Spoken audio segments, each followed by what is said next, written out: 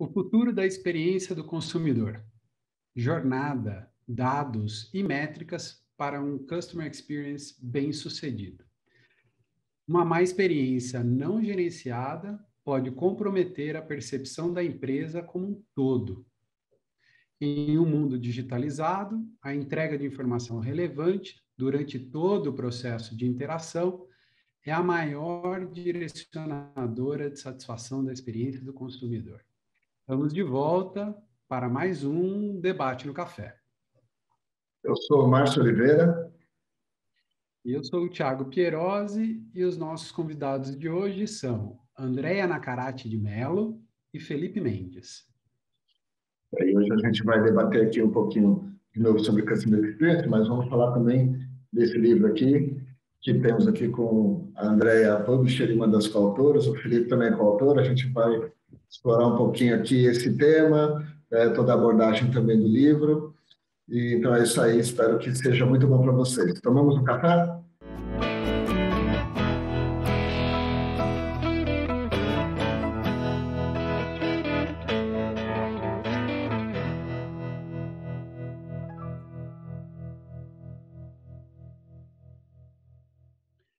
A Andréia é consultora, escritora, professora e apaixonada por marketing e pela experiência do cliente. Tem mais de 30 anos de experiência trabalhando em grandes multinacionais.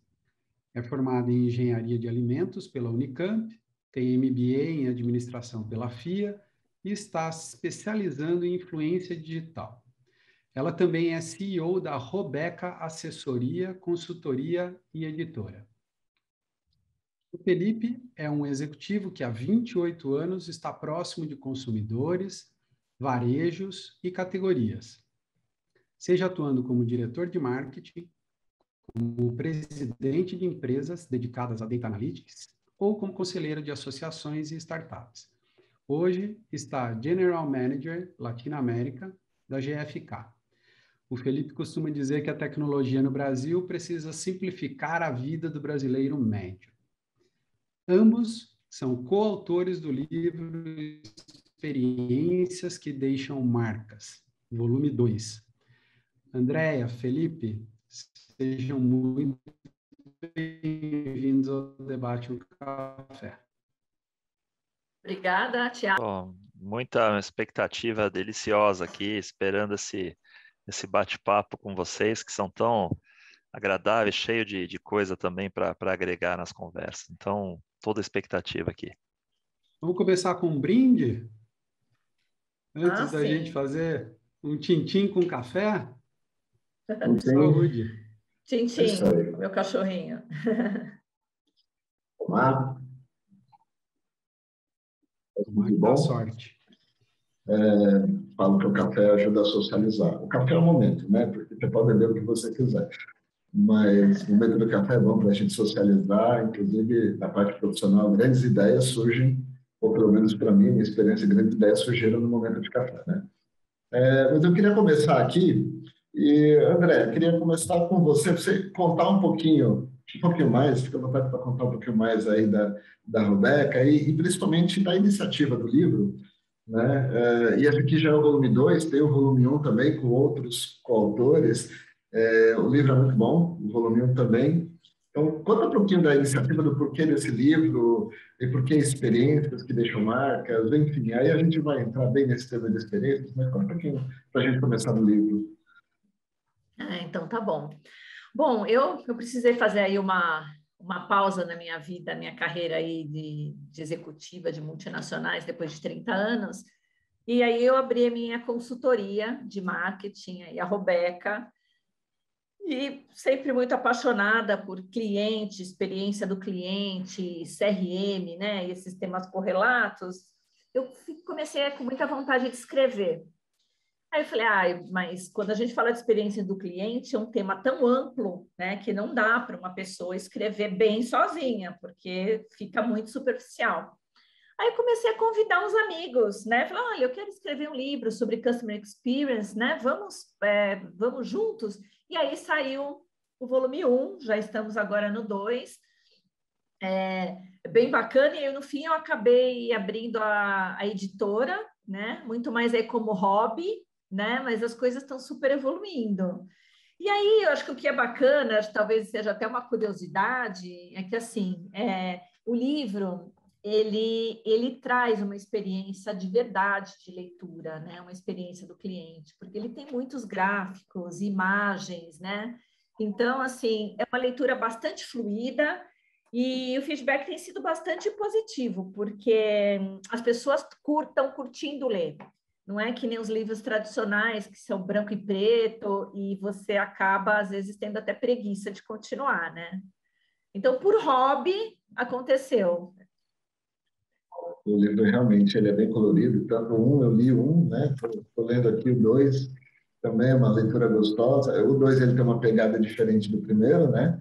O primeiro ele era um pouco mais conceitual, esse aqui ele tem uma pegada mais prática. Eu acho que isso é interessante também porque é, a experiência do cliente, na verdade, é uma coisa prática, é uma vivência, né? Então, para a empresa também entender como tirar do conceitual e parar só de ficar falando sou é, customer centric ou qualquer outra coisa customer aí, mas na prática e aí como que a gente faz, né? É, isso que é o que é o importante precisa. Muita empresa ainda não sabe. Né? Então, Márcio, o primeiro livro ele foi escrito mais conceitual, é, é de propósito. Por quê? Porque muita gente fala de experiência do cliente, mas pouca gente sabe o que é. Né? Então, ainda é, é, um, é um tema que é bastante incipiente, com uma grande oportunidade de implementação nas empresas brasileiras. Né? Então, ele nasceu para ser uma sementinha da experiência do cliente nas empresas e também nos profissionais que desconhecem é, a sua amplitude e complexidade, vamos dizer assim. Muito bom. E Felipe, é, queria aproveitar então esse, essa ideia de contar um pouco de background, se você puder contar para a gente, compartilhar a tua história, como que o Felipe chega até essa coautoria também nesse livro, e já vou aproveitar então e fazer uma outra pergunta junto com essa, que é qual é o futuro do Customer Experience? O que, que nos espera aí pela frente? Obrigado, Tiago. Assim, é, o convite que a, que a André me fez foi, foi interessante. Eu estava dirigindo com meu filho, era 5 e meia da tarde, uma quarta-feira. E, e, quando ela falou sobre isso, eu disse, puxa vida, olha isso, né? Olha que interessante, ela está me ligando às 5 e meia da tarde, uma quarta-feira, eu estava com meu filho dirigindo, ouvindo rádio, estava. E isso foi o momento em que eu falei, não, pera um pouquinho, tem alguma coisa aqui que eu acho que vale a pena discutir, porque eram coisas que eu há um ano não faria.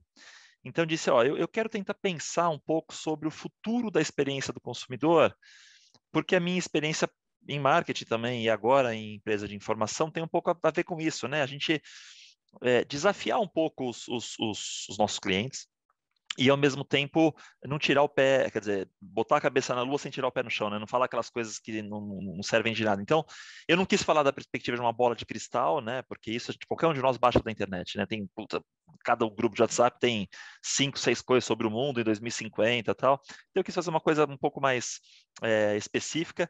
É, e aí, o que, que eu fiz? Eu acho que o processo é bem bacana como, como discussão, né? Eu comecei a conversar muito com colegas, gente que eu conhecia de pequeno, familiares, e comecei a observar mais. Eu lembro que eu estava andando na rua ou, ou num restaurante ou é, dirigindo, restaurante a gente vai pouco hoje, mas dirigindo, e eu lembro que eu ficava olhando como é que estão essas relações hoje em dia. E isso foi algo muito interessante para abrir a cabeça e dizer, olha, eu acho que por aqui vai, eu acho que por aqui não.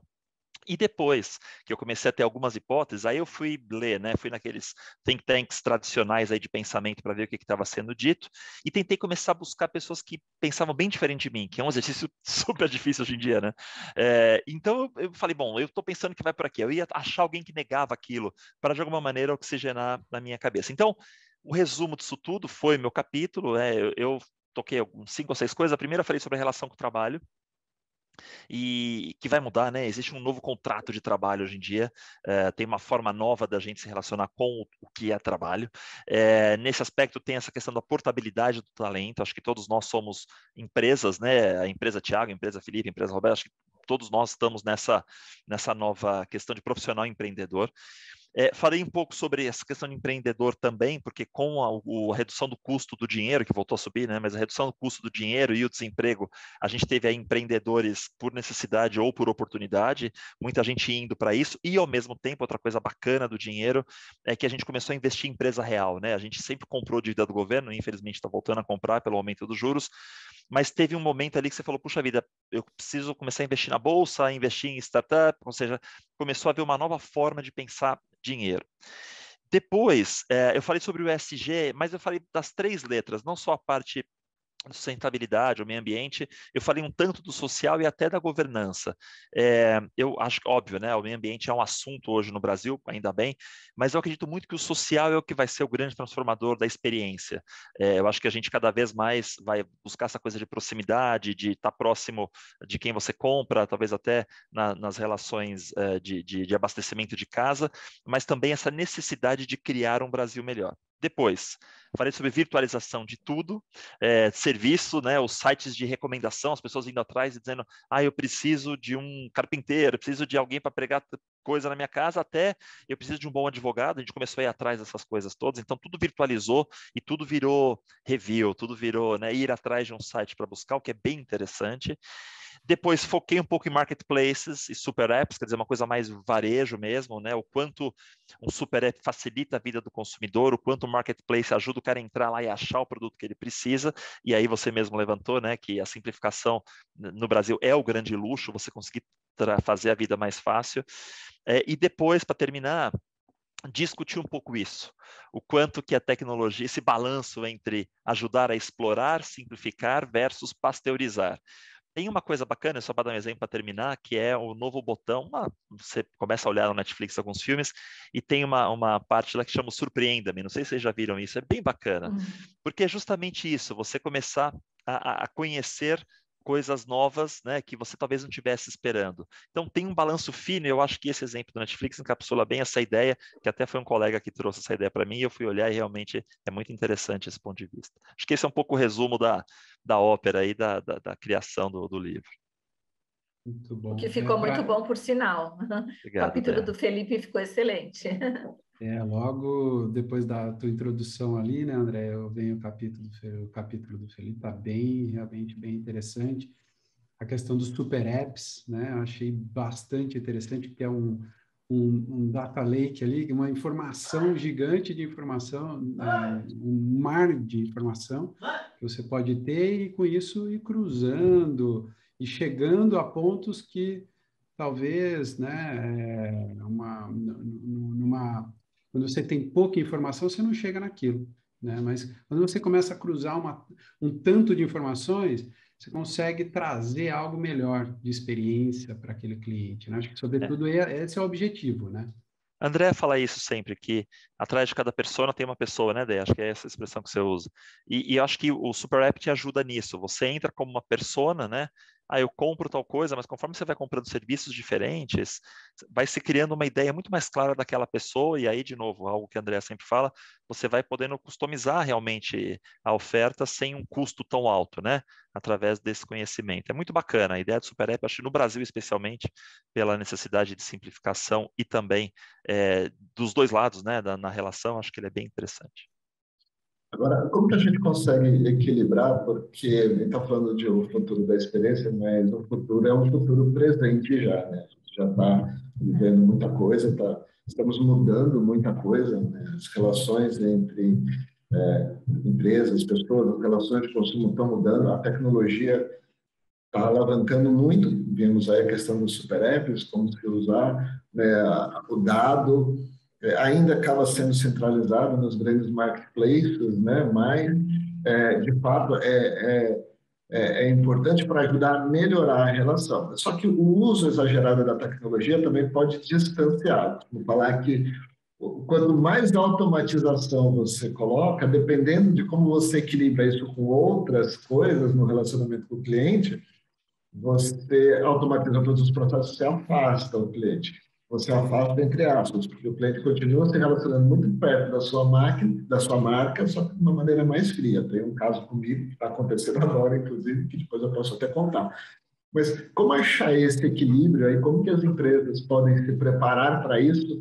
Porque o consumidor está mudando, os hábitos estão mudando, a gente tem o comportamento digital que fala, a gente pode abordar também, mas como as empresas podem equilibrar um pouco, tirar aquela tentação do vou colocar tecnologia, vou reduzir custo, né? Ou vou colocar tecnologia, vou reduzir um monte de coisa aqui, mas uh, cuidar ainda da relação com o cliente, conseguir olhar para a relação, não só olhar para os dados para uma oferta melhor, uh, ou mais oferta, que é importante também, mas olhar para a relação também, aproveitar. Como que vocês enxergam? Aí eu já os dois essa pergunta. Olha, eu, eu acho que a primeira coisa é, é as empresas elas não irem com muita sede ao pote, né? Porque acho que a o chute inicial, né, a entrada aí na de automa, automatização de atendimentos, vamos dizer assim, é, vem muitas vezes por é, redução de custo, né? É, e, e também para melhorar a eficiência de conseguir atender um volume maior de clientes ao mesmo tempo. Mas as empresas precisam entender os segmentos de clientes que elas atendem. Porque há, tem clientes que não tem problema nenhum com automatização acham que, vou, que ganham tempo, que resolve, né? Tem clientes que ok com isso, mas ainda precisam daquele carinho, né? Daquela abordagem humana como opção. Tem clientes que não adianta automatizar, que não, não, não se dão com tecnologia, não conhecem, estamos falando aí de vários segmentos de clientes, terceira idade, enfim, gente que ainda talvez não tenha, não tenha entrado. Então, a questão é, entenda o cliente e não assuma que, pode, que vai ser igual a questão da automatização e utilização de tecnologia igual para todos. E tem uma coisa de phasing também, né? de faseamento, perdão. É, e, e, de novo, você, o que a André falou é exatamente o que eu falo, só que dando um exemplo super específico. Você tem lá os chatbots, né, de, de, de call centers, de qualquer coisa. É, quem, quem passou perto de uma implementação é um trabalho que não é menor, né? Você precisa é, preparar todas as possíveis. Bom, as respostas conhecem isso. Você precisa coletar isso, organizar, né? Então isso toma tempo. E aí você tem aquela pressão, porque você está gastando dinheiro aqui e ainda mantém o, o, call center cheio, né?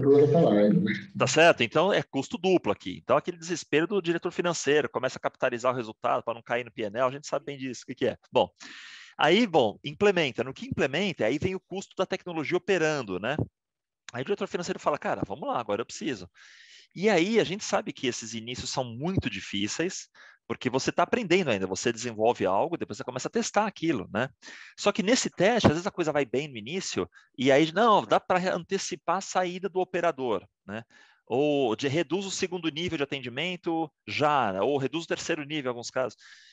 E aí é, é onde a coisa aperta, porque aquela pessoa que nunca entrou na tecnologia, né, como a Andrea comentou, e entra a primeira vez e tem uma experiência ruim, pô, ele claramente fala, meu, não é possível essa empresa trabalhe assim.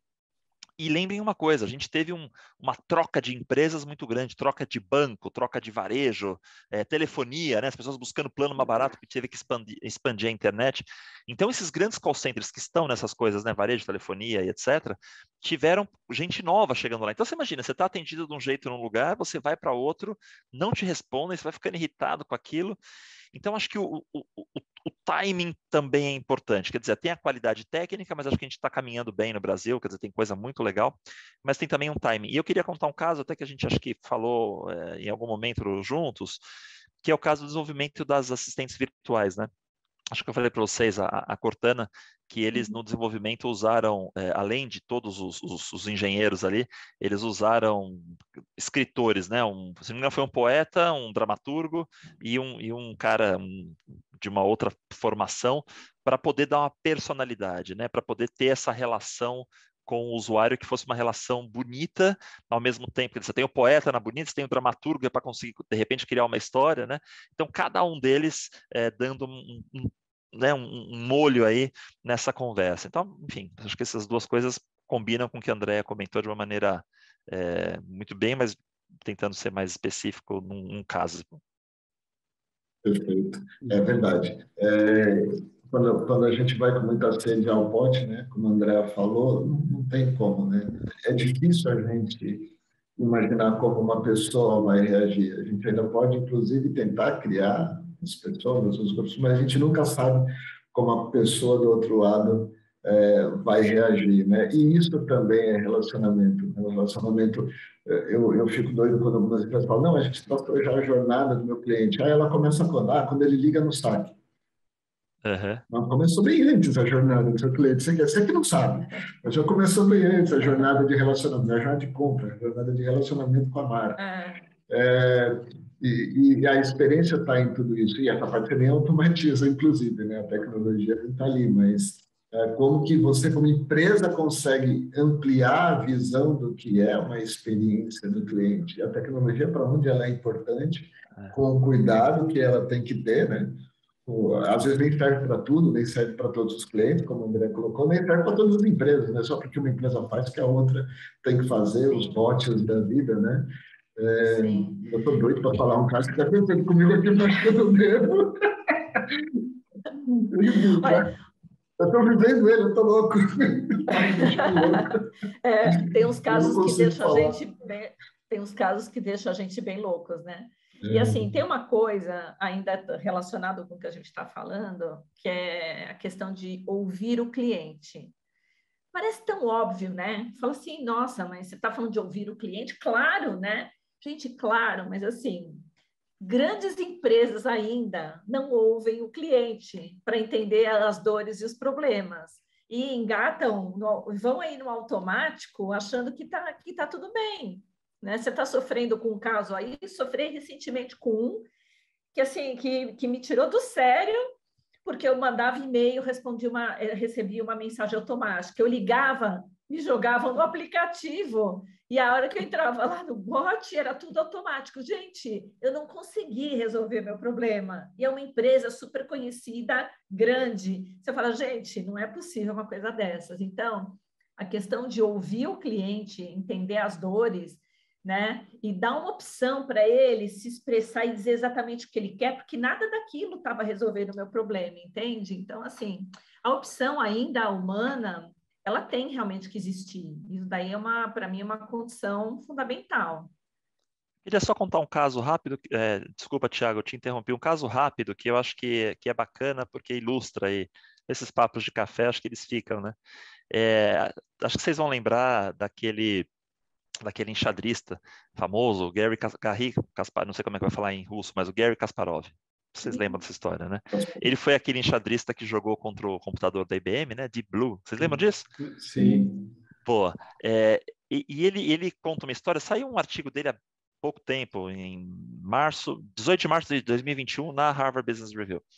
E ele comenta que ele foi usar computador, foi, foi jogar contra um búlgaro acho que é búlgaro, que ele tinha ganho de 4 a 0 no último torneio e eles foram para um, um torneio, ele e um computador e o búlgaro, um computador, e ele é, empatou, teve um tie, ele teve um 3 a 3 E ele comentava que ele não entendia o que, que poderia acontecer. E aí o que, que ele percebeu é que o, o búlgaro estava usando, e era o mesmo computador, estava usando o computador de uma maneira muito mais inteligente para fazer aquilo que ele não sabe fazer. Enquanto o Gasparov meio que competiu com o computador e tentou eh, pensar só na, na, na parte é, de estratégia e fazendo conta ali, né, que é o que os xadristas fazem, é, o, o búlgaro começou a fazer cenários e, e, e antecipar coisas e julgar, oh, é, com essa mudança será que ele está indo para lá ou para cá, mas enfim, tudo isso para dizer que a inteligência artificial é, ela deve claramente aumentar a inteligência humana e não substituir. E isso dá trabalho.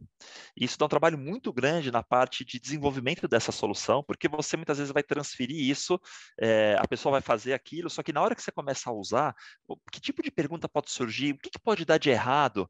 Então, tem um esforço humano grande nesses processos de, de, de utilização é, massiva né, e, e, pesada da tecnologia.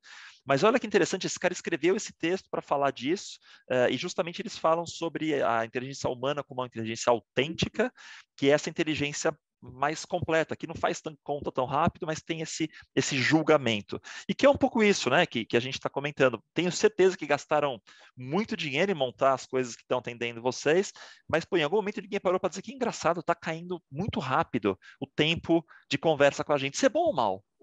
É ótimo. Será? Né? Será que o, é. o, Tá certo? Será que o call não é o momento de eu também me relacionar? Não é um processo de venda, afinal? Não é mais um canal? Não é tal do digital? Então tem umas, umas, perguntas que às vezes a máquina não responde, né? É. Muito bom. Eu, é. eu, Vai lá, Andréia, por favor. Não, não, eu só, eu só ia falar que, que tem empresas que, que definem métricas tá? É, únicas, tipo o NPS, né? E aí tem uma nota super alta e fica super feliz e fica ali, né? E não é isso, né? Porque o NPS é uma métrica de recomendação de fidelização, ela não pega os problemas das áreas das empresas, né? Então, assim, a, a, até isso às vezes acontece, né? Precisa entender é. o que está acontecendo em cada área, porque a experiência do cliente é a empresa inteira, né? Não é uma área específica. Então, não adianta você olhar guarda-chuva como estando indo, porque pode ter um monte de problema espalhado que a empresa não está conseguindo resolver porque não tem visibilidade, né? Era onde eu queria chegar, né? Não é contratar uma IBM ou uma Microsoft ou qualquer que seja ali a, a, o recurso de inteligência artificial, um recurso de machine learning, um bom chatbot, instala, põe numa área e acabou. Não pode ser isso, customer experience, né? No entendimento meu, e aí eu quero ouvir vocês, Customer Experience é um mindset, é uma forma de se pensar o relacionamento com o cliente. Aí a gente traz o que o Márcio falou, começa lá no pré-venda, passa pela venda, passa pelo pós-venda e vai permeando toda a empresa. Né? Tá certa essa leitura? Qual é a visão de vocês disso nesse sentido? E quanto as empresas estão preparadas para isso hoje no Brasil? Vou contar dois ou três casinhos rápidos aqui. Primeiro, em marketing B2B, não B2C, quando a pessoa chega para falar com você, ela já teve 10 pontos de contato. Ela já foi no, ela já viu você na mídia, ela já entrou no teu site, ela já conversou com um colega de indústria, bom, enfim, né? 10 contatos. Então, quando um cara chega, a gente fala: "Ah, não, tivemos um lead". Esse cara, para chegar ali, ele, ele rodou, né? Ele teve em muitos outros pontos. Então, ele já chega com uma imagem para você. A mesma coisa no varejo. A mesma coisa no básico. Quando alguém chega no B2C numa loja, hoje em dia a pessoa já traz um processo de pesquisa muito bem desenvolvido. Então, o, o, o vendedor, por mais que ele conheça daquelas categorias, ele, ele não consegue, porque o cara está mais preparado para que ele. Então, o uso da tecnologia para aumentar de novo a inteligência daquele fulano que está ali atendendo é muito importante. E para terminar, é, nós estamos vivendo isso hoje, Tiago. A gente está lançando uma plataforma de inteligência artificial com os dados que a gente recebe do varejo para tentar fazer análises preditivas para, por exemplo, preços de, vou falar uma empresa que a André trabalhou, preços de celular ou televisão. Tá? Então, é, a gente olha o que está acontecendo e faz, então, recomendações. E quando a gente vai conversar com as empresas, as que melhor usam são aquelas em que as pessoas seniors estão desafiando o tempo inteiro a solução. Pô, não pode ser assim, nunca deu certo. Não, calma lá, então vamos lá. Por que, que você está dizendo que nunca deu certo? Vamos olhar esse teu cenário aqui na plataforma. Ó, eu sempre combati o produto A com o B. Tá bom. Você tem mais ou menos um retorno de X%? É ótimo, não, pera um pouquinho, é ótimo mesmo, poderia ser melhor com esse aqui. Ah, será? Ué, testa, faz teste num cliente, faz teste numa região. E para testar, muitas vezes o senior precisa estar presente, que é o cara que tem para o senior testar numa loja desse tamanho. De repente, para o gerente do, daquele canal, daquele varejo, pô, é um risco enorme testar. Ele vai dizer, eu não vou testar não, mas para o diretor de vendas, tudo bem, é um varejo a mais. Então, o envolvimento não é só envolvimento da operação, é realmente, como você falou, é um envolvimento senior. Né? Eu, eu digo que CX é coisa de presidente. Deveria chamar COX, porque, cara, é, é, tá certo, assim, eu na minha empresa, eu posso estar indo super bem com a minha equipe de vendas, mas se eu estou com problema na produção lá na Alemanha, que é quando produz meu dado, o que, que adianta? Eu ir super bem aqui e mal na Alemanha. Então, eu, como diretor da América Latina, tenho que levantar a mão e dizer, ó, investe lá na Alemanha, senão eu não vou vender, não vou gerar uma dissatisfação B2B. B2C, pô, pior ainda, né? É, o Felipe, acho que você está coberto de razão é, sim, é o, a experiência do cliente, ou Customer Experience, ou CX, é uma questão de presidente, porque assim, só ele consegue é, é implantar uma cultura voltada para o cliente, né, e fazer acontecer, né, com comprometimento das lideranças, é, e derrubar silos, porque a questão de silos dentro das organizações é, compromete demais a experiência do cliente. Né? Quando é, o, o Thiago falou ah, a experiência do cliente, né? é tudo, é realmente é tudo, é a empresa inteira. Então não adianta cada um olhar para o próprio umbigo, porque tem que trabalhar de uma maneira colaborativa, né, para garantir que a experiência em todas as áreas sejam satisfatórias. Então quem que vai puxar isso é o presidente, é realmente a liderança, né? Porque uma pessoa é, é tem empresas que implantaram, ah, nós fazemos CX, é uma pessoa lá que não tem grandes suportes, não tem recursos e não adianta, porque não vai fazer a roda girar. Então precisa realmente desse desse apoio, né? E o tempo, né? Eu acho que tem uma questão de tempo, de, de, de você colher os frutos de, um, de, um, de uma ideia de customer experience, tá certo isso? Eu não sim, vou fazer uma implementação sim. hoje e em dois, três meses eu vou ter resultado. Eu vou levar um certo tempo, né? A máquina vai precisar aprender, é, eu vou precisar entender todos os touch points que eu tenho com meus consumidores, isso também é, faz parte desse processo que vocês estão falando? Eu quero agregar outro, outro exemplinho simples aqui. Ó. É, você falou do tempo e a gente comentou um pouco naquela né, redução do segundo nível de atendimento do CRM, né? Quer dizer, é um caso, né? É um exemplo, mas nunca termina. Eu acho que eu acho que o bacana desse processo é que ele nunca termina, porque a, a novas expectativas são geradas, né? Então eu, eu, eu, lembro disso. A gente talvez com alguma diferença de idade, mas a gente está numa geração muito parecida.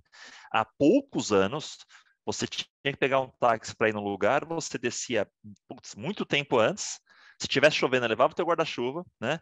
Ficava ali na rua procurando, andava de uma roupa a outra, tal, ia numa avenida, lembra disso? Ia numa avenida, aí o cara parava, te molhava a pé, no ônibus rebuzinava, esticava o braço, aquele caos, entrava no carro, sentava e dizia pro cara, eu vou na rua tal, sabe chegar? Pô, se eu soubesse, eu estava aqui, né? Aí o cara parava o carro, abria um, né? Quando tinha o guia. Guia, guia quatro rodas. Opa, buscava, bom, na hora de pagar, você vinha com 50, não... ele dizia, não, não, não tenho troco. Então, você imagina que a, a experiência de transporte, por mais que eu tivesse desenhado um ótimo CX, ela muda no momento em que chega o um novo serviço.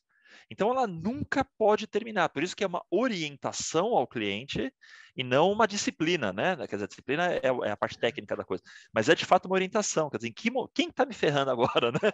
Os caras de, de, de, startup pensam assim, né? Quando eles começam a virar incumbente ali, alguém está me destruindo agora, disruptando, como eles falam. E com certeza, então tem que ter uma certa paranoia, essa palavra que eu queria chegar. Tem que ter uma certa paranoia constante nisso, aliada a essa orientação. É, as empresas que querem começar a, o CX, é, o que eu falo sempre para elas, é, entenda o todo para vocês saberem aonde estão os problemas, tá? E comecem é, priorizando de acordo com o recurso que vocês têm. E não adianta ter pressa, porque vai demorar dois, três anos para realmente arrumar a casa como se deve, né? E quando arrumou, começa tudo de novo, que ele falou, né? Porque o, o, o, as pessoas mudaram, né? Elas podem ter incorporado outros valores na vida delas, né? Começar a perceber empresas de um mundo de uma maneira diferente. As empresas têm que se reinventar, tem tecnologias novas, enfim, né? Aí é um ciclo, né? É verdade. E o, o Felipe colocou fez um, um, comentário muito bom que eu ia colocar, né, que é o papel do CEO, né, do alto escalão de uma empresa, e concordo plenamente, né, até escrito sobre isso recentemente, né, que o, se o CEO não, não se preocupa com o CX, não adianta uma área falar que se preocupa ou comprar qualquer ferramenta de automação, não adianta ficar desenhando jornadas, para não significa nada isso. Né? É, se, se o, o, o alto nível da empresa não se preocupa se a empresa não é direcionada para, de fato, a experiência do cliente, e muitas não são, apesar de falar, né, é orientada para o seu produto, para o seu serviço, e o cliente às vezes atrapalha, né? A gente tem que pedir desculpa por estar consumindo, mas é, se o CEO não entende isso, é, não, não vai, dali para baixo, não vai entender, né? A experiência do cliente eu enxergo como tendo que estar no modelo de negócio da empresa o modelo de negócio está ali com, com, como eu crio, não experiência, como eu crio uma boa, né, qualificar essa experiência, como eu crio uma boa experiência para o cliente, não uma, uma má experiência. Muitas vezes as empresas começam pelos seus, ah, os seus problemas, eu vou lidar com os problemas. Mas por que, que os problemas existem? É para existir problema, né? não, é, não existe empresa perfeita, mas é, é, eu não tenho que lidar com o problema, eu preciso é não ter problemas. Então, é. como eu, eu minimizo né, para não, não ter problemas? E se tiver, resolver da maneira mais rápida possível, né? E aí é, o, é o que está acontecendo comigo aqui. Eu tive um problema criado pela empresa, não por mim, né? E, e, e não estou conseguindo nem nem canal, porque eu só falo com o robô, e o robô não tem lá a opção. Mas o que eu quero é isso, não tem a opção, eu não falo nada. Eu estou só aguardando. Uma hora alguém vai falar comigo, não é possível, né? Eu tenho que aguardar. E isso é uma grande empresa também, né? É, então, assim, é, a empresa não é orientada, na verdade, a, a, o CEO, os diretores, eles não estão preocupados com isso, estão preocupados com os resultados financeiros. E como que a gente muda essa cultura, faz essa transformação cultural, né? É. A complacência das... Porque, assim, se a gente for pensar, as empresas se tornam grandes porque elas eram muito boas, né? Quer dizer, elas, elas pegaram uma oportunidade, dependendo do tamanho, e elas vão ganhando espaço, porque em algum momento elas eram muito boas. Elas atendiam o desejo daquele cliente, né? E, e quando a gente fala hoje das startups, tá? Porque hoje, né? Se for pensar, a IBM foi uma startup algum dia, assim como a Nestlé, né? Ou a Unilever, que eu e a, e a Dea trabalhamos, né? Quer dizer, em algum momento aquilo foi uma empresa nova que viu um problema real e foi atrás daquilo. A questão toda é que, com o tempo, você vai fazendo com que as pessoas que têm essa sensibilidade virem managers, né, virem gerentes, diretores, presidentes, e o cara perde a chegada na rua, né, ele se distancia de tal forma que ele perde a, a relação com a vida real ali. E nesse momento que ele perde isso, eu tenho certeza que os diretores talvez não saibam do teu, certamente do teu caso não, mas não entendam que isso pode acontecer tanto, porque talvez alguns deles se, se revoltassem com isso numa reunião de diretoria.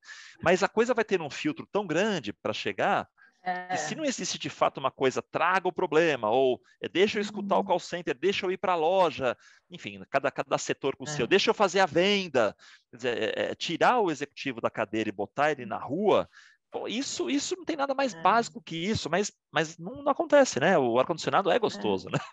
O ar-condicionado é gostoso. Olha, um outro exemplo, eu recentemente eu assisti uma, uma entrevista que a Luiz Helena, né? Do, da, do Magalu é, deu, não lembro para quem exatamente, né?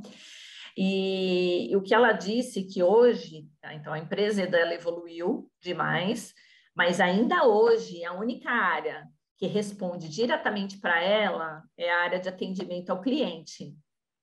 E, e a empresa dá a opção do cliente falar diretamente com ela ainda. E ela falou: olha, quando o cliente chega até mim, é porque ele já falou com várias pessoas dentro da empresa que não conseguiram resolver. Então, gente, isso é um diferencial, porque olha só, o atendimento ao cliente, eu acho que é a área mais crítica da empresa. Ela pode ter outros problemas de logística e tal, mas que talvez sejam mais fáceis até de resolver do que a questão do atendimento, porque você está lidando com gente, né? Então, assim, é um CEO comprometido que foi subindo ao longo do tempo, né, e entende realmente o que está acontecendo ali, né? Não que a empresa ali também não tenha problemas, tem, mas eu tiro o chapéu ainda por por por estar tá voltado e ter essa preocupação de olhar as dores do cliente. Precisa muito, né? Um pouco de esforço. A gente lembra do, pelo menos eu lembro, né? Acho que o Felipe também, do comandante Rolim, Natan, né, que recepcionava as pessoas, muitas vezes aparecia e recepcionava ali na porta de embarque, entre outras coisas. Né? O tapete vermelho, assim, né? O tapete vermelho. Né? É... são, são, pequenos detalhes, né? E tem muito que aprender com a Disney aí, né? Os pequenos detalhes é. que, que geram boas experiências, né? E as experiências boas ficam gravadas, né? É, tanto quanto as experiências ruins também ficam, né? Mas é, aquela experiência, aquela sensação boa, é, é, muito bom quando você retoma o contato com uma marca, né? Esse é o maior ganho que a empresa pode ter. Verdade. E temos, Sim. sabe, é uma, uma, grande preocupação, até quando é, é, tive a ideia aí de começar com o livro, é desmistificar a questão da experiência do cliente, sabe? Porque tem gente que fala, ah, CX não é para mim, e nem entende do que se trata, né? Então, desmistificar o tema é fundamental, porque é olhar para a empresa, vamos olhar o que vocês estão fazendo em todas as áreas, vamos ver onde estão as oportunidades e os problemas, e vamos ir resolvendo aí de acordo com os recursos, como eu até já falei. Então, acho que desmistificar, para mim, é, é a chave, a chave do futuro do CX, porque há, tem grandes organizações que implementaram, gente, mas a grande maioria do Brasil está longe de começar. É, eu, o Marcos comentou aqui, a André está falando, o Felipe já comentou, eu é, me veio também a Disney na cabeça, né? Que eles chamam é, de pontos de combustão. Se você não mitigar aquele risco, ele vai se transformar do vi, no aquele vídeo do teu cliente que não embarcou no teu voo e acabou com o balcão teu no aeroporto. Sim, né? essa, aliás, essa semana, gente... né? Exato, né? Então, se o ponto de combustão não está controlado, vai ser uma explosão, não só tua, mas numa rede social que hoje em dia as empresas não controlam mais, né? É. Acho que tem muito é. mais dificuldade. É, e aí, eu já estou vendo que o Felipe tem ali alguma coisa para falar, já vou passar para você então, Felipe, já fazendo uma pergunta também. Como que a gente pode usar toda essa tecnologia disponível hoje para facilitar a vida e melhorar, então, esse relacionamento com esse cliente, essa experiência do consumidor? Em todas as frentes, eu digo, mitigando o risco de uma explosão num balcão, no aeroporto, é, e fazendo a coleta de toda essa informação para eu tratá-lo muito bem, antecipando problemas. Como que a gente consegue fazer isso e simplificando e não complicando, né? Porque a gente sabe que excesso de tudo é ruim. Então, muita tecnologia também, é, não sei o quanto é bom e o quanto é ruim para aquele cliente lá na ponta. Eu, de novo, algo, algo muito simples. O, o, o, Indicador-chave de performance é um, é um, ponto super importante, né? Tem aquela frase que é super clichê, mas eu vou usar. Se você não sabe onde está indo, qualquer lugar é bom, né? Então, eu vou dar um exemplo de uma empresa comercial, tá? Não vou nem falar agora de uma de empresa de serviço, mas você imagina uma grande é, fabricante de qualquer produto de consumo. Esse cara tem muitos pontos de relacionamento com o cliente. Então, ele tem a entrega, por exemplo, no, no cliente mesmo, né? Vamos chamar o consumidor de comprador. A entrega no supermercado, por exemplo, é um primeiro ponto, porque se ele entrega um produto tarde, se ele entrega menos quantidade do que o cara precisa, quer dizer, ele tem um problema, certo? Quer dizer, ele já não vai, ele já sabe que ele não vai atender é um, é um índice antecedente de uma falta de entrega. Então, você tem esse primeiro índice aqui, você tem um KPI. As empresas têm esse KPI, né, que é o KPI de on time in full, lá, né, de fulfillment, tem vários nomes, mas é saber do quanto que o cara pediu, quanto que você entregou. Perfeito. Que... E aí você vai depois para a loja, né? Então você tem o promotor que mede lojas, é, caixas abertas, é, falta de produto, quer dizer, o promotor mede mais coisas, ou empresas, até como a GFK, medem várias coisas. Depois você tem, enfim, saque, satisfação com o uso, pesquisa de NPS ou pesquisa de, de uso, bom, você vai gerando. O grande ponto é, hoje em dia, medir tudo isso é muito mais fácil do que antes. Você gera lá uma campanha de inscreva-se no nosso concurso, coloque o seu QR Code. Então fala, opa, esse cara é cliente, já tenho ele na base. Quer dizer, é muito mais fácil montar essa informação.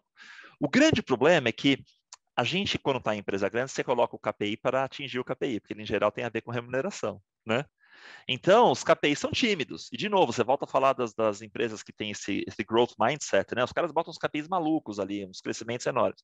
Mas o cara fala, eu vou baixar de 97, aumentar de 97 de fulfillment para 97,5.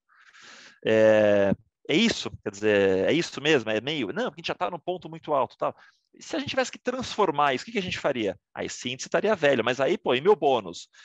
Então, você tem uma questão de remuneração também, eh, de, de, de como é que chama? De, de dissociação entre o que o, o que o teu cliente ou consumidor valoriza e o que você, como, como profissional e executivo, é recompensado. Então, sistema de recompensa é um problema grande. Tá? Então, o que eu te diria? A tecnologia está disponível, é, nem sempre existem índices ou KPIs, as pessoas têm receio de colocar só quando são forçadas. Vou dar outro exemplo: a gente monitora preço em ponto de venda. A gente, para todos os clientes, diz qual é a tua meta para eu poder te reportar por scorecard.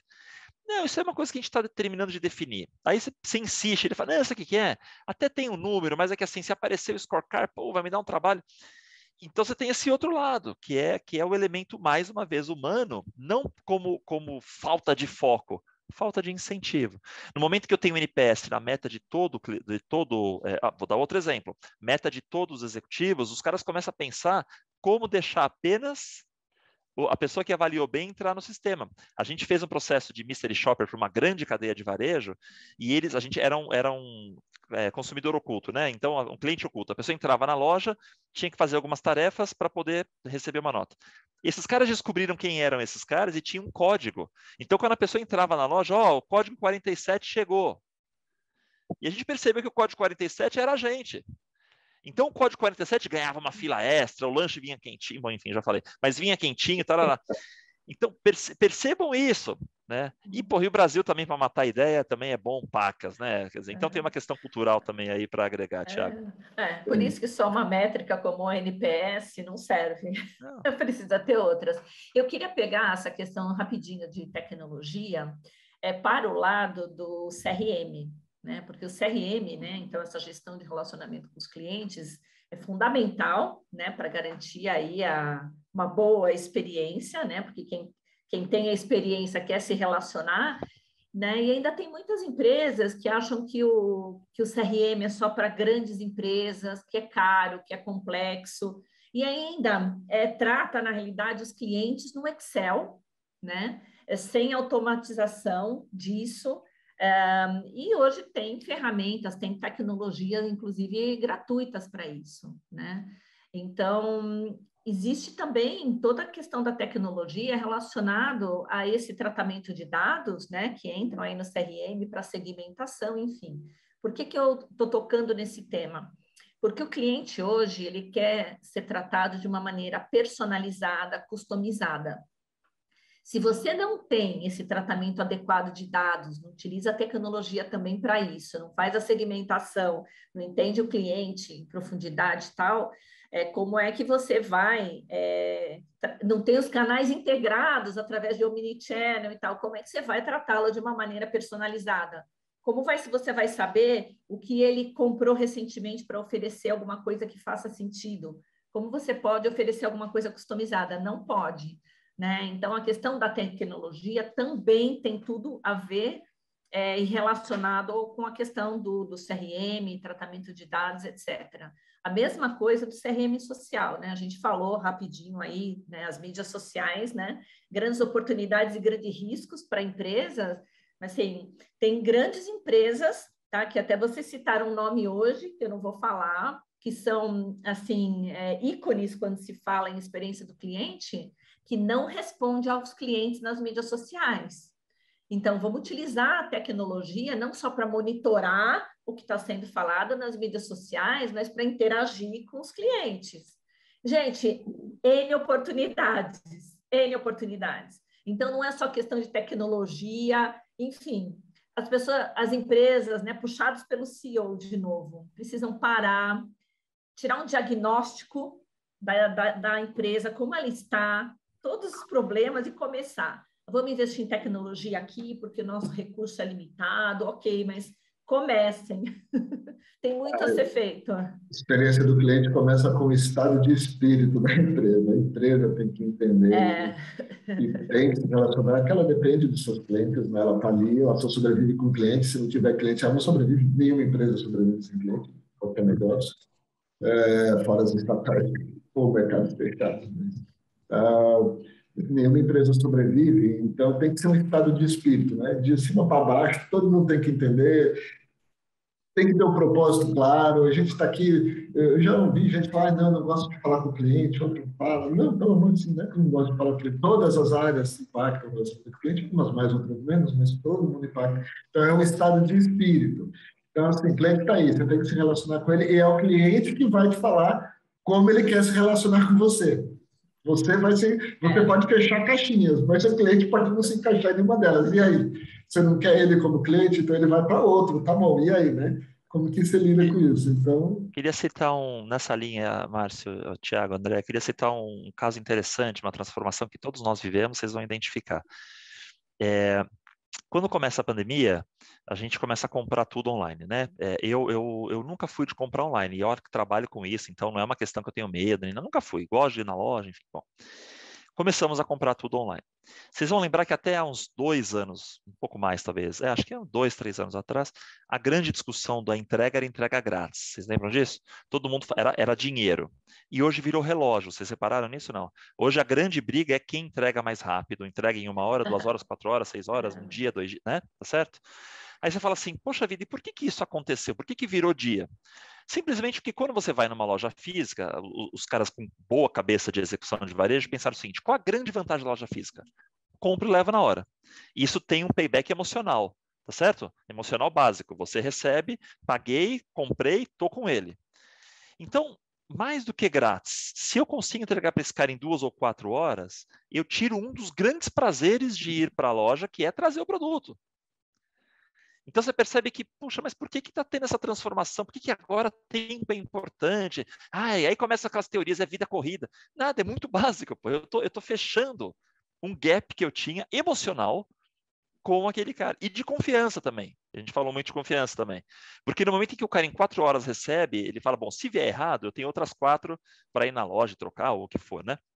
Então, tempo passou a ser um ponto interessante hoje nessa, nessa discussão. Então, é isso, Marcos. Quer dizer, a gente tinha uma situação que era boa, aí vai para online, grandes problemas no início, aí começa a entregar e começa a batalha do, do, do, do, do dia, da hora, do uhum. minuto. Tem uma rede, que eu não lembro agora qual, é, que quer que você peça é, saindo do trabalho, né, e que você chegue em casa já com o produto na porta.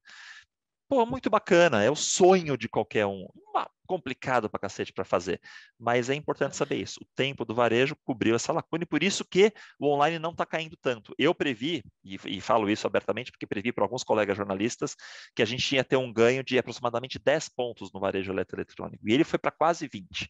E parte disso é porque eu nunca consegui prever o ganho logístico que as empresas se preparariam para fazer, e hoje está aí.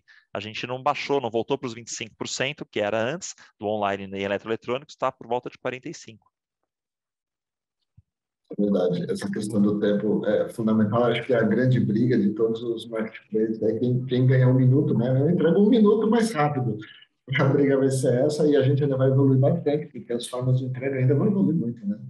Ainda depende do. Nas grandes cidades, depende do caminhãozinho, depende do entregador. Daqui a pouco a gente já não está mais dependendo disso para determinados produtos. A entrega aí com qualidade, né? né? Porque tem empresas que entregam rápido hoje, e você precisa falar com o atendente que não está treinado ainda é mal educado. Então, existem umas questões bem básicas a serem ajustadas, né? A empresa precisa cuidar. Pegar mais rápido significa que pode surgir problema mais rápido, inclusive em maior volume também, se ele trabalhar direito. Então, precisa pode. saber lidar com esses problemas, tratar esses problemas. Não adianta entregar rápido e demorar dias para resolver o problema depois. E bom, falando de tempo, vocês que lembraram do tempo, eu fui olhar é. aqui, o nosso, é, o nosso tempo está indo embora. Quando o papo é bom, é isso, flui muito rápido. Eu quero passar para vocês fazerem aí suas considerações finais ou comentar coisas que não deu tempo, mas gostaríamos de ter falado. É, falem do livro. Olha, deixa eu mostrar aqui. Ah, você tem um, eu tenho dois, ó. Olha lá. Tenho mais o livro está ótimo. Gente, isso aqui é um, é, é um MBA. É um MBA. Para mim, eu assim, tô realmente muito, muito interessante o livro. Mas deixa, olha lá. Márcio, cadê eu, eu, mostro, eu mostro também, eu tenho é... um, eu já li. Eu, ah, eu ganhei, aqui, eu tenho o volume 1 e 2. eu também eu tenho. Ganhei. Eu tenho o volume 1 também. Então, eu passo para vocês, lá, por favor. É. É, bom, é, o que eu gostaria apenas de, de lembrar para finalizar é que nesse contexto todo da experiência do cliente, acessibilidade ela tem um papel bastante importante, normalmente é esquecido, né? Esse é um tema que eu estou começando a abordar agora, porque quando a gente fala de experiência do cliente, quando você vai ver, tem muita gente falando a mesma coisa, né? Claro, porque o básico tem que ser falado, mas a questão da acessibilidade tem que ser cuidada. Eu, na minha última empresa de eletroeletrônicos que eu passei, tive bastante experiência com a questão de acessibilidade, projetos, e assim, é, calçar o sapatinho desses, dessas pessoas que são clientes de potencial, né? é, também ganho para a empresa. Pra vocês terem uma ideia, hoje 1% dos sites do Brasil são acessíveis. 1%. Então, assim, tem um monte de coisa a ser considerada. Né? Então, de novo, assim como o CX entenda os seus problemas, priorize a questão da acessibilidade também, porque criar é, é, acessibilidade né, dentro da experiência do cliente é uma jornada, é um aprendizado, porque é uma coisa super nova, super nova para a gente. Então, você precisa ter a empatia, é, entrar realmente nesse, nesse caminho. E, assim, traz resultado pessoal, né, que é uma coisa super intangível, as transformações, você está incluindo pessoas, dando novas oportunidades. E também é potencial para os negócios tá? Porque são clientes aí em potencial que estão aí querendo viver novas experiências, só não vivem porque a acessibilidade não é oferecida pelas empresas. Bom, bem lembrado. Fala mudo, Felipe. Tá, tá sem som, Fê. Aí. Então é isso. não, indo para o outro lado. É, eu acho que eu, a gente quando vai em cliente muitas vezes sai da reunião, né? E, e às vezes a empresa está indo mal, assim, perdendo muita participação no mercado, perdendo venda, etc. E, e, e, a gente tem uma expressão, né? O, o, pessoal que trabalha comigo que fala assim: bom, é, é o tipo da reunião que tá, tá ruim, mas tá bom, né? E o tá ruim, mas tá bom é quando a pessoa cria uma história para ela mesma em função daquilo que a gente conversou, né? De, de tentar se proteger, o seu emprego, se enganar, né? Tem vezes que não dá para resolver o problema. E eu acho que tudo bem se você admitir isso. Você pode ter um problema insolúvel pelo custo, pelo tamanho, qual é o impacto disso e faz um risk management, gerencia esse risco. O que não dá é para a gente saber e se enganar que aquilo não é um problema. Acho que esse que é o grande pecado. Essa miopia é o grande pecado. Porque se eu sei que existe, e acontece comigo também na GFK, ah, meu, a gente não está bem nisso, vamos perder o cliente, ele está reclamando, eu falo, cara, não tem como resolver. Não tenho gente, não tenho dinheiro, não tenho recurso. Tudo bem, então se eu perder aquilo, está no jogo. O que eu não posso é perder o outro, tá certo? Então, essa coisa de seja, seja, seja sincero, seja realista com os teus problemas, que eu acho que é um convite que eu faço para todos os colegas aí e esse público que certamente assiste esse ótimo programa de vocês, Tiago, Márcio, e já agradecendo a chance de estar aqui com vocês hoje. Muito obrigado. Sim. Obrigado vocês dois. Obrigada. Ó, um brinde, né? Um brinde. Um brinde do final, né? Mais um brinde. Tá vazio, mas tudo bem. Já acabou. O meu agora acabou. O meu já acabou. Vocês não têm térmico, pô? Oi? Ah, não dá térmico. Tem garrafinha não. térmica? Eu vou aproveitar que a gente falou tanto de consumidor, eu vou pedir para que quem nos assiste, né, que é acaba sendo o nosso público, o nosso consumidor, é, que consome nossos conteúdos. Se você está no YouTube, se inscreva no canal, compartilhe o conteúdo. Se você está no podcast, segue nosso canal por aí também. Você vai ficar sabendo mais das novidades quando a gente lançar novos programas. A gente está aproximadamente lançando novos programas, novos episódios a cada 15 dias. E fique conosco, acompanhe a gente nas demais redes sociais. E muito obrigado, Felipe. Muito obrigado, Andréia. E muito sucesso para o livro de vocês. Obrigada, obrigado. obrigada a vocês. Obrigado, prazer, Felipe, um abraço. Andréia, obrigado pelo livro também. Um abraço para todos aí e até o próximo debate no café.